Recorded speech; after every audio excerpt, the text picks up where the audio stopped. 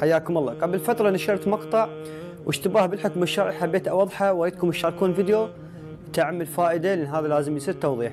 في صلاة الآيات اللي هي بالخسوف أو الكسوف أو الخسوف. صلاة الآيات ركعتين أكو من ضمن الطرق اللي هي خمس ركوعات بخمس سور قصار. ممكن. فأنا إيش قلت بوقتها؟ قلت إنه أول ركعة الحمد تقرأ وأي سورة صغيرة وتركع وتقوم من الركوع. وتقرأ السورة الثانية. وهكذا تخلص خمس سور بخمس ركوعات.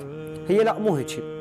هي نفس الطريقة بس الطريقة الثانية اللي هي الحمد أول ركعة. وتقرأ سورة قصيرة. انه بتركع وتقوم. تقرأ الحمد هم تكررها الحمد مرة. وهم سورة ثانية. وهم تركع وتقوم. تقرأ الحمد يعني سورة الفاتحة. وتقرأ سورة ثالثة. إلى أن تخلص خمس ركعات كل ركعة الحمد وسورة قصار. وتخلص الركعة الأولى يعني ركعة كاملة. وتقوم آه، بالركعة الثانية اللي بها خمس ركوعات وقيام.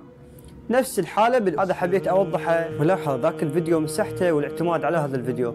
والله يوفقكم إن شاء الله. وصلى الله على محمد وآل محمد.